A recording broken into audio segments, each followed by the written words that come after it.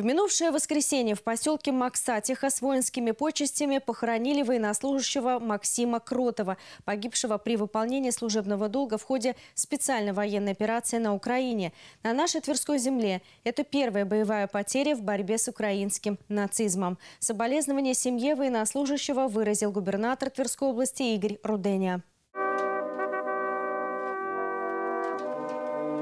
Проявив подлинное мужество и героизм, он до конца выполнил свой воинский долг перед Родиной, отдал жизнь в борьбе с нацизмом во имя безопасности нашей отчизны, за мирную жизнь наших соотечественников. Это слова главы региона, разделившего горечь утраты с семьей Максима Кротова. Максим родился и вырос в поселке Максатиха, учился в средней общеобразовательной школе номер один. На траурной церемонии его учителя, друзья, одноклассники и многочисленные жители Максатихи.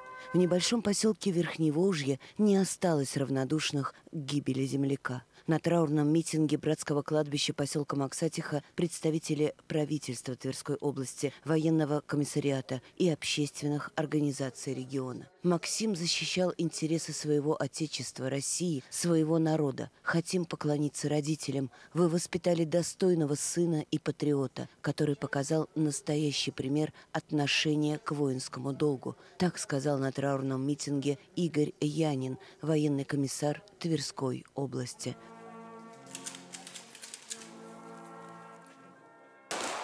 Гвардии рядового Максима Кротова похоронили как героя с воинскими почестями.